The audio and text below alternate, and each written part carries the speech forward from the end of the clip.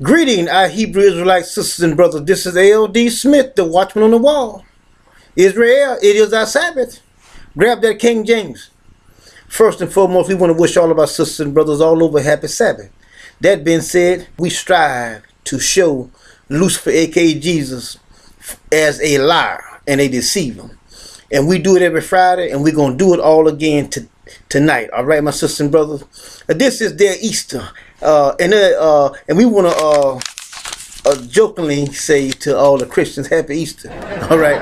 But that being said, let us go into our, our teaching, my sister and brother.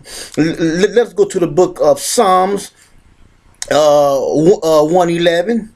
Psalms 111, and we're going to be reading verses uh, uh, 7, uh, 8, and 9. And we're dealing with a uh, Jesus died on, on, on, so-called Calvary's cross uh, that uh, uh, he might redeem the world back to God, as he said over there in the book of Ephesians or one and seven. It says that we have redemption through through His blood.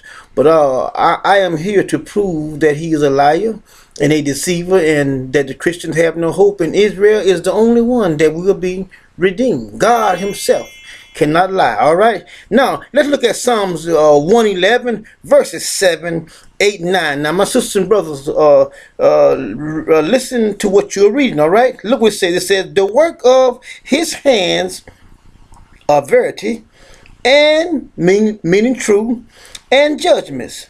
All his commandments are sure. All right. They stand fast forever. All right. And ever and are done in truth and of righteousness. Now watch right in my sister and brother. He said he sent. Huh? He sent. See, when God has said that he has sent his redemption, he, he ain't got to send no more. what do we need with Jesus, my sister and brother? Israel. What do we need with anybody else? God here saying that he have already sent. It's already on the way. It's already done. So if he have sent it, why do we need another? We don't need another. He say uh, he have sent redemption unto his people. We don't need Jesus Israel. We do not need Jesus, my sisters and brothers. It's right here in the pages. My sisters and brothers, I mean, when you get news like this, we can shout about it. See I'm saying? We are so sure about our salvation until we can just shout, dance, run around. Oh, we can have a good time. Look what he says, you know. He says he sent his redemption unto his people, not the world. And then he goes, he says, he has commanded his covenant forever. It ain't gonna change. It ain't gonna change. It's not gonna change. His covenant between us and him is not gonna change. And guess what? The world is not invited. He goes on. Look what he says here. A holy and reverence is his name. Now, let us look at another scripture here, my sisters and brother. Let's go to Psalms 130. Let's go to Psalms 130, my sisters and brothers.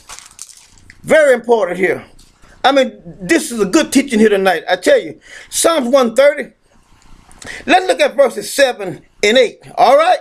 Look what, well, let's read 6 2. It says, My soul waiteth for the Lord more than they that watch for the morning. I say, my I say more than they that watch for the morning. And let Israel, look what he says, hope in the Lord, for with the Lord there is mercy and with him is of redemption. See that?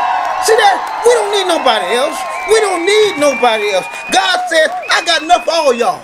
I got enough for all y'all. Look what verse 8 says, my sisters and brothers. Oh, I tell you, my sisters and brothers, this is this is this here is good right here. He says, and he shall redeem Israel from all of his iniquity.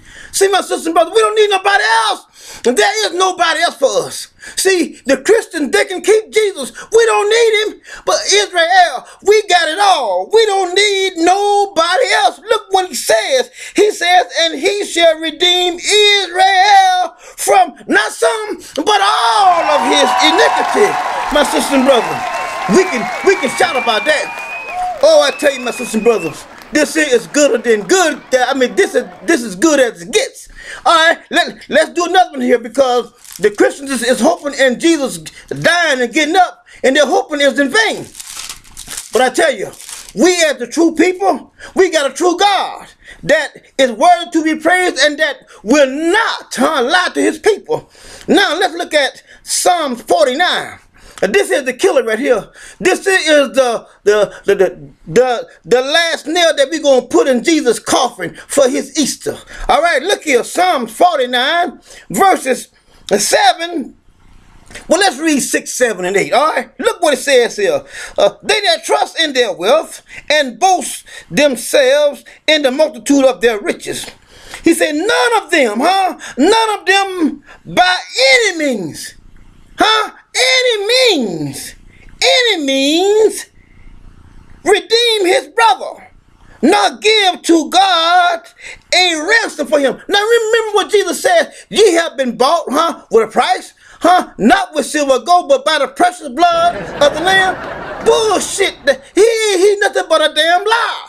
I mean, the whole New Testament is nothing but a bunch of bullshit. Look what God says here. He says, for none of them can by any means re uh, redeem his brother. Now, Jesus said that over in Hebrews, uh, the, the, the, the, seventh chapter, verse 14, he said that uh, it is uh, uh, how, how, let me see that quote. He, he said, It is evident and that our Lord and Savior sprung by the tribe of Judah, meaning that he's our brother. Look, look what Yah says here. Look what the Holy One of Israel says here. He says, For none of them can by any means redeem his brother, nor give to God a ransom for him. Isn't that wonderful, my sisters and brothers? Isn't that wonderful? You can tell a Christian that that bullshit about Jesus about them uh, uh, not with silver and gold, but by the precious blood of the Lamb, uh, that uh, uh, he bought them and that number but a bunch of bullshit. Look what he says in verse 8. He says, For the redemption of their souls is precious, and it ceases forever. See that? It, it ceases uh, uh, forever. God is saying that this ain't gonna change here. My sisters and brothers, I want to wish you a happy Sabbath and enjoy your Sabbath. Until next time, shalom.